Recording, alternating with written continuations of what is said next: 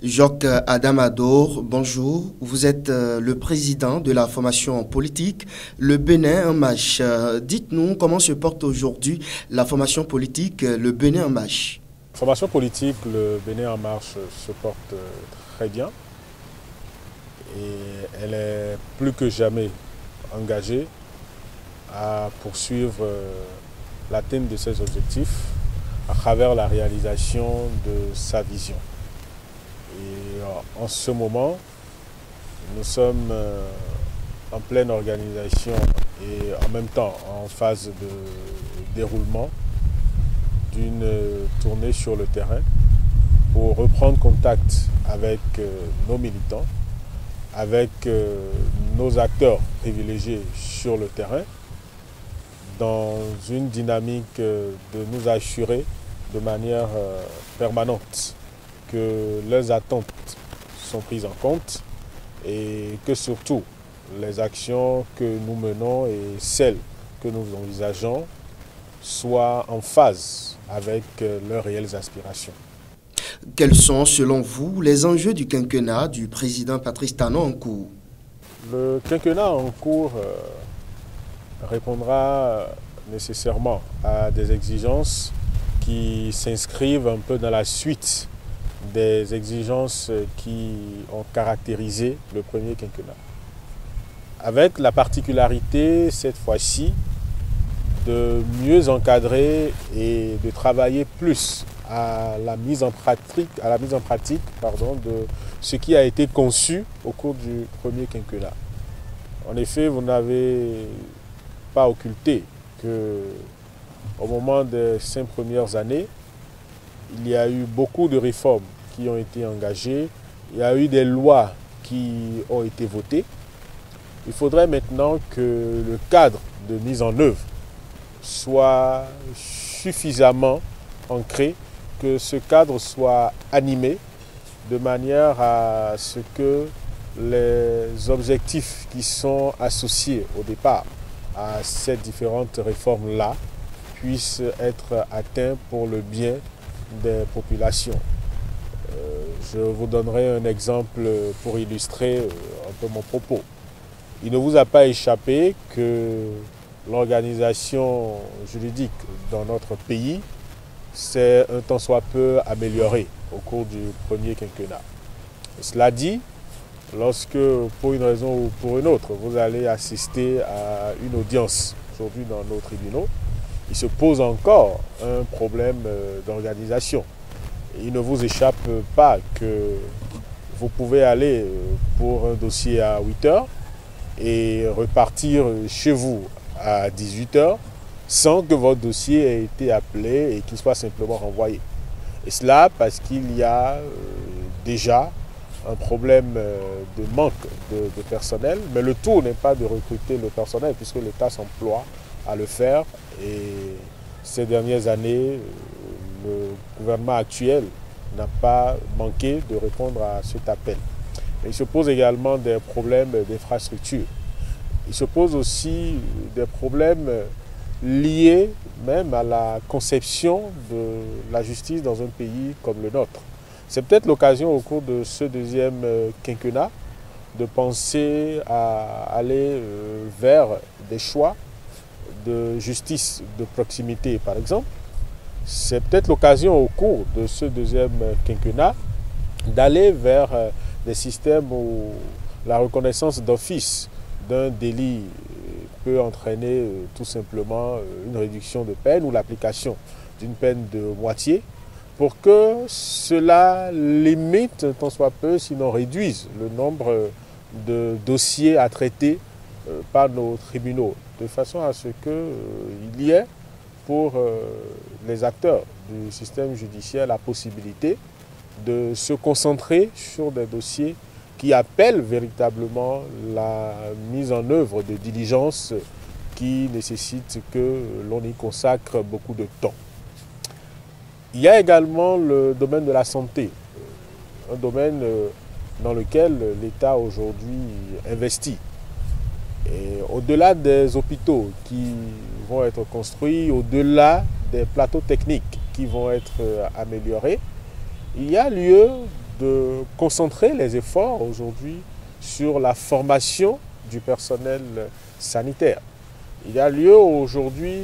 de réorganiser, sinon de concentrer encore plus les efforts également sur la qualité des soins qui sont offerts euh, dans les hôpitaux. Il y a également aujourd'hui plus que jamais nécessité que l'État accompagne les acteurs de la santé qui font l'option de se mettre à leur propre compte, donc d'évoluer dans le secteur privé, de manière à ce que euh, globalement, il y ait euh, un œil plus attentiste, un œil plus accompagnateur qui permettent la mise en œuvre efficace euh, des réformes qui ont été pensées en l'occurrence. Le secteur de l'éducation, dont on a suffisamment parlé au cours du quinquennat dernier, et qui a même euh, nécessité la mise en place du Conseil national de l'éducation, mérite également que euh, les réformes aillent au bout. Aujourd'hui, c'est bien, il y a le Conseil national de l'éducation. Aujourd'hui, des textes ont été revus, mais il se pose encore des problèmes euh, qui sont liés à la façon dont les dirigeants ou les acteurs principaux du système éducatif euh, sont nommés, des préoccupations et des enjeux majeurs qui aujourd'hui sont encore liés à la façon dont ces acteurs-là sont globalement suivis il y a une nécessité de centraliser un peu tout cela pour qu'il euh, soit possible pour le ministère depuis ici de suivre directement, sans forcément euh, passer par le truchement des circonscriptions électorales, dans une dynamique de contrôle de deuxième niveau, de suivre directement ce qui se passe euh, sur le terrain. Il y a lieu donc pour l'État de reprendre sa place dans le système éducatif. Parce qu'au cours des dernières décennies, il n'a échappé à personne que l'État a été démissionnaire, à tel point que le privé a carrément pris en otage le système éducatif dans notre pays. Et cela ne saurait continuer parce qu'il s'agit quand même de missions qui sont de portée régalienne et pour lesquelles l'État doit nécessairement l'acteur de premier plan qui oriente la direction dans laquelle euh, tous les autres acteurs, notamment ceux du privé, doivent aller. Il n'y a que on est en droit d'espérer aujourd'hui que l'école publique puisse véritablement euh, retrouver ses lettres de noblesse pour que la dynamique soit imprimée par le, le secteur public et que le secteur privé suive le pas. Lorsque nous abordons également le volet du tourisme,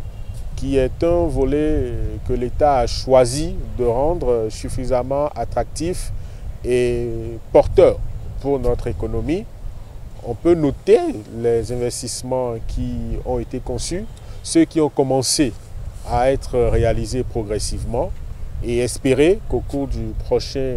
quinquennat,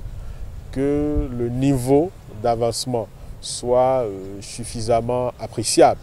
pour que les fruits commencent à tenir les promesses des fleurs et que euh, toute la communauté béninoise soit contente, soit fière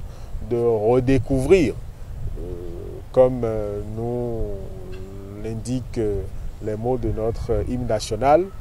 tout ce que nous avons comme trésor et qui peuvent à suffisance être exposés à la face du monde. Nous avons le volet de la politique. Et lorsque nous parlons de la politique, nous ne saurons manquer de parler de la gouvernance. Et il y a une volonté manifeste qui est affichée depuis 2016 de travailler à l'amélioration de la gouvernance, de veiller à ce qu'à tous les niveaux, l'on installe un système de gouvernance qui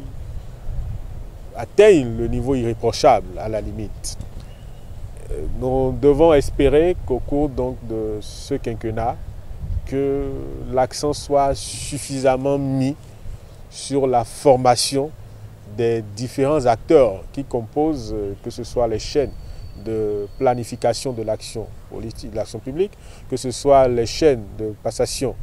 de marché, que ce soit les chaînes d'exécution de la dépense publique, mais surtout que le système de suivi, d'évaluation, de contrôle et d'amélioration soit renforcé. Puisque, on le sait, on dit que la peur du gendarme est le début de la sagesse. Il y a donc lieu de s'assurer que le dispositif qui est en place euh, au niveau donc, euh, de chaque sphère de la gouvernance dans notre pays, que ce dispositif euh, permet de renforcer, déjà de mettre en place, mais surtout de renforcer le dispositif de contrôle interne et qu'on mette l'accent sur la qualité des hommes qui gouvernent. C'est pour cela que les promesses qui avaient été faites, notamment par rapport au processus et au mode de recrutement des personnes qui doivent occuper de hautes fonctions dans la République, que ces promesses-là soient mises en œuvre, puisqu'il y avait eu un peu comme euh, une période de préparation. On va considérer le premier quinquennat ainsi, il y avait eu un peu comme une période de préparation. Maintenant, il est temps que l'on aille vers cela, que les entreprises publiques, que les offices que l'État crée soient administrés par des personnes qui ont qualité à le faire. Que ce soit des personnes que l'on oriente vers des formations qui leur permettent d'avoir euh, cette qualité-là. Et aujourd'hui, il y a des certifications en la matière parce que cela permet quelque part de déjà garantir que les personnes qui représentent l'État au niveau de ces structures-là ont suffisamment de ressources, ont suffisamment de connaissances et de compétences pour les apprécier de façon avisée et cela pour que euh, les objectifs soient atteints, mais qu'ils soient atteints de manière rationnelle et dans une dynamique de satisfaire l'intérêt général. Une fois que nous avons abordé la question de la gouvernance, il y a la question, en l'occurrence, de la participation du citoyen à l'action publique. Puisque euh, cette composante-là de la société, qui est pourtant la plus importante, a souvent été négligée dans le processus de contrôle et de veille par rapport donc à la mise en œuvre de l'action publique. Que le réflexe de la reddition des comptes, comme l'a souhaité le chef de l'État qui en a lui-même donné l'exemple lors de sa tournée de reddition de comptes, que ce réflexe-là devienne désormais une prescription pour toutes les personnes qui exercent le pouvoir d'État que ce soit à un niveau central ou à un niveau décentralisé. Que le chef de quartier ait l'obligation de rendre compte à ses administrés. Que pour le maire, ce ne soit plus une faculté, encore moins un exploit, lorsqu'il rend compte à ses administrés. Que les audiences publiques, à un moment donné, deviennent une exigence, sinon la règle. Pour que, en permanence, celui qui exerce le pouvoir public. En permanence, celui qui a à charge la mise en œuvre d'une politique publique. Qu'en permanence, celui qui est établi dans une fonction publique sente le regard des citoyens, sente le regard de ses mandants, de manière à ce qu'ils se sentent encadrés dans la manière dont il pose son acte tous les jours que cela devienne donc une réalité. Que le système euh, également qui est en place pour que les choix de dirigeants se fassent, que ce système-là soit désormais ponctué de suffisamment de formation, de suffisamment d'information. Et c'est le rôle dans lequel les partis politiques sont censés être établis, qu'ils euh, puisse aujourd'hui, et mieux que jamais, se rendre à l'évidence que l'animation de la vie politique, qui est une mission qui leur est dévolue, passe par la révélation du pouvoir d'agir du citoyen. Et cette révélation du pouvoir d'agir du citoyen-là sera une réalité dès lors que l'on n'attendra plus la veille des élections pour chaque fois aller vers les citoyens, mais que régulièrement, à travers les structures de base, que régulièrement, à travers les représentations locales de ces formations politiques-là, qu'on soit au contact des populations, qu'on s'assure qu'ils sont impliqués dans les actions de développement à la base dans leur communauté, que chose simple, on s'assure désormais que lorsqu'il faut faire le lotissement dans une zone, qu'on ne laisse pas cela juste à l'affaire euh, d'un comité qui se met en place et que personne n'encadre et ne suit. Que l'on s'assure que tous les militants de son parti, mais au-delà, que tous ceux qui sont des citoyens et qui composent cette communauté-là s'impliquent suffisamment et demandent aux personnes qui en prennent la responsabilité de rendre régulièrement compte. Que également, dans nos écoles, on revoit si ce n'est amélioré le système de formation. Parce que les hommes d'État, les citoyens modèles, les dirigeants exemplaires, on ne les obtiendra certainement pas si déjà dès le bas âge, on ne s'assure pas que les notions et les valeurs qui leur sont inculquées à l'école sont des valeurs qui leur permettent de rassembler, sinon de réunir toutes les prédispositions qui les préparent à l'exercice de ces fonctions-là. Donc le leadership doit être euh, une science désormais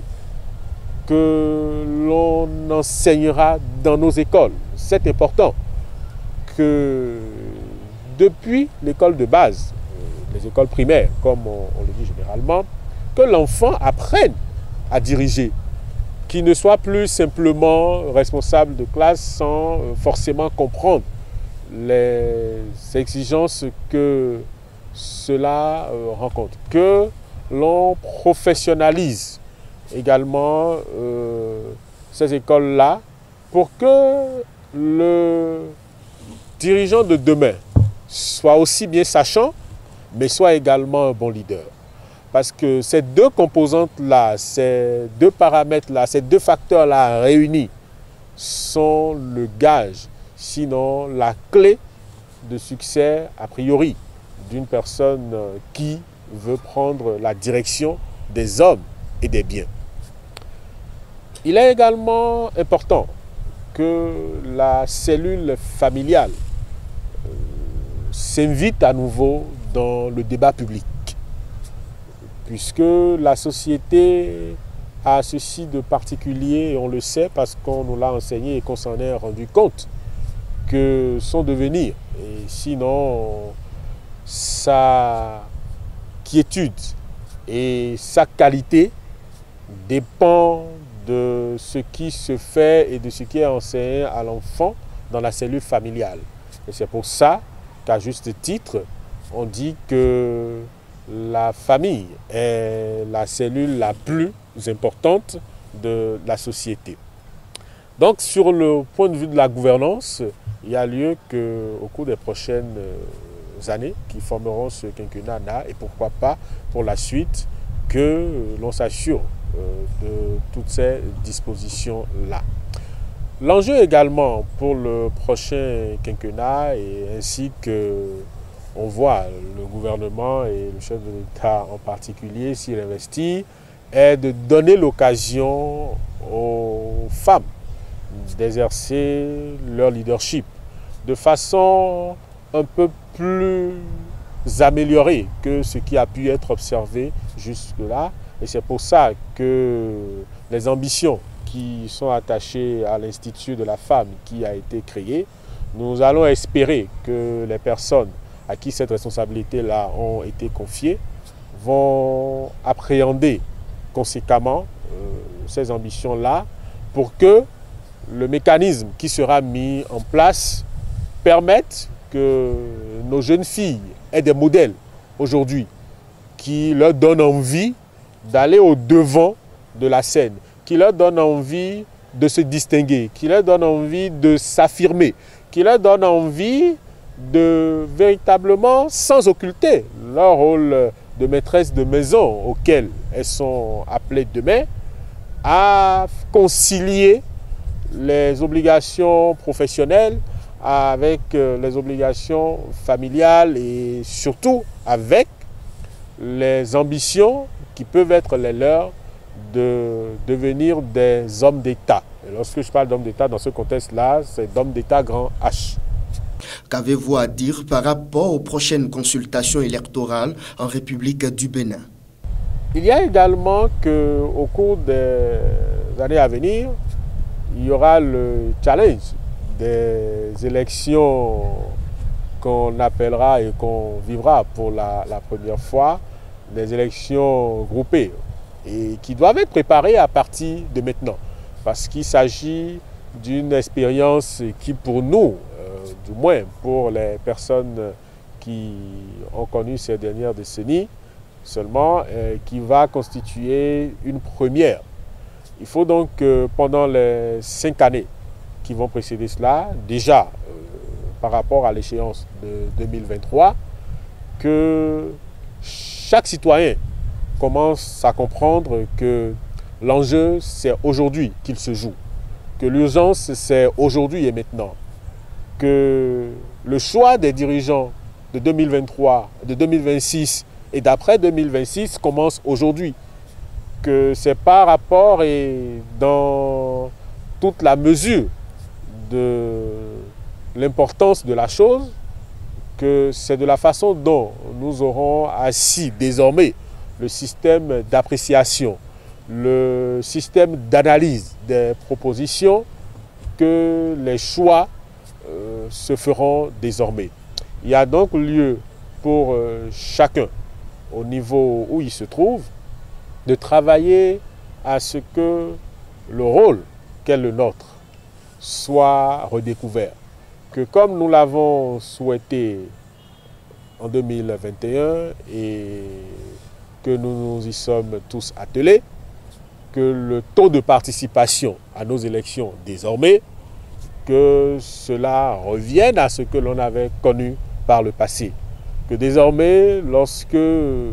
on obtient un taux de participation à des élections de 75%, qu'on se dise nous sommes dans une situation normale. Et qu'en dessous de cette eau-là, qu'on commence à se poser des questions. Mais tout cela ne pourra pas être euh, abouti si nous ne travaillons pas ou que nous ne continuons pas d'œuvrer à la mise en application des mesures de lutte contre la propagande de la pandémie de notre euh, époque, la pandémie de la Covid-19. C'est pour cela que c'est l'occasion de rappeler que ce défi-là, au-delà d'être le défi du quinquennat actuel, est le défi de tout le peuple béninois, de nous assurer qu'autour de nous, les personnes en âge d'être vaccinées, qu'elles le fassent, que ce faisant, elles ne baissent pas la garde par rapport aux autres mesures barrières et que dans l'espoir de ce que nous attendons tous, qu'à grande échelle, une fois que l'objectif de la vaccination sera atteint, que l'on fasse un sort définitif à ce mal-là qui constitue quand même un frein pour le développement euh, de nos nations et particulièrement celle du Bénin. Pour que les différentes actions qui sont menées, pour que les différentes initiatives qui sont prises au profit des populations, que de par leur euh, position, elles puissent tirer profit de l'investissement que chacune d'elles aura consenti, du sacrifice que collectivement nous aurons consenti pour que, comme nous l'avons tous souhaité, notre pays puisse se révéler à lui-même, puisse se révéler à la face du monde et que ce faisant, les chèques que nous ont légués nos pères fondateurs puissent enfin être touchés à des guichets qui sont suffisamment fournis de réalisation, suffisamment fournis de prouesses et suffisamment fournis de richesses pour chacun et pour tous. Joka Damador, merci. C'est moi, je vous remercie.